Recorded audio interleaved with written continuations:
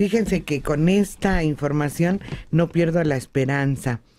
Tiene actualmente unos 70 metros de estatura, 55 kilos, ojos azules, se llama Bri, tiene 22 años y en enero próximo competirá por la corona de Miss América, esto es en Estados Unidos, y ella en este momento está a punto de convertirse en Miss Carolina del Sur, solo que ella a los 17 años pesaba 115 kilos, era talla 18 y tenía ya serios problemas con sus rodillas por el exceso de peso. Pero dijo de la estatura.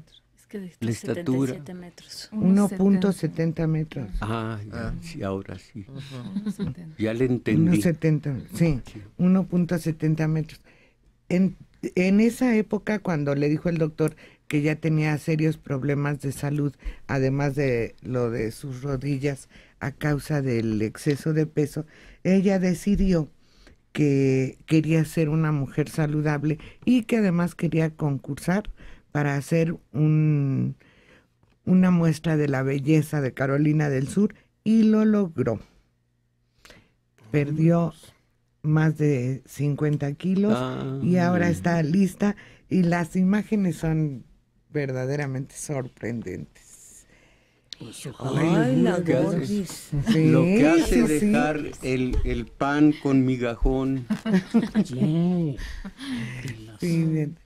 Y si ustedes piensan que los pañales no sirven para nada, pues a esta niña de tres años le salvaron la vida el ir con su pañal puesto mientras va- viajaba en coche con su mamá y su papá.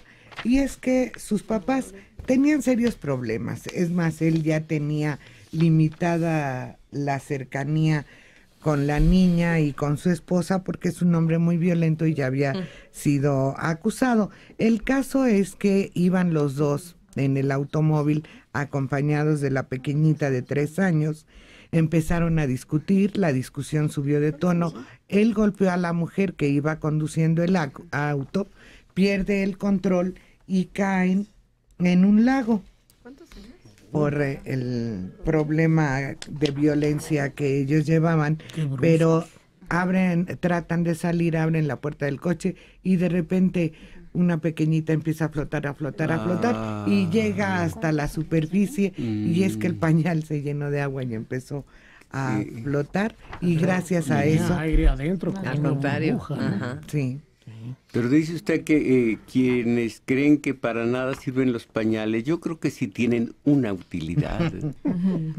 sí, dicen que salió como Globo.